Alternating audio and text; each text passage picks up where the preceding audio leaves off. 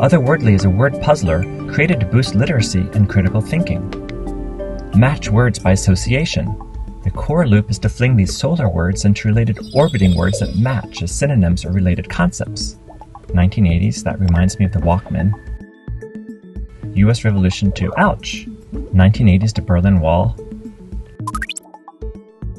Play with vocab that's great for kids. An adaptive mode including non native English speakers, or challenging mode that pushes your wordsmithing limits. Conquer obstacles, analyze and discern words, and rocket through an ever changing galaxy. Players enjoy a sense of meta progression, recaps of the words, winning treats for the chatty robots, aliens, and space slugs, plus literary hints like this Hermione quote from Harry Potter.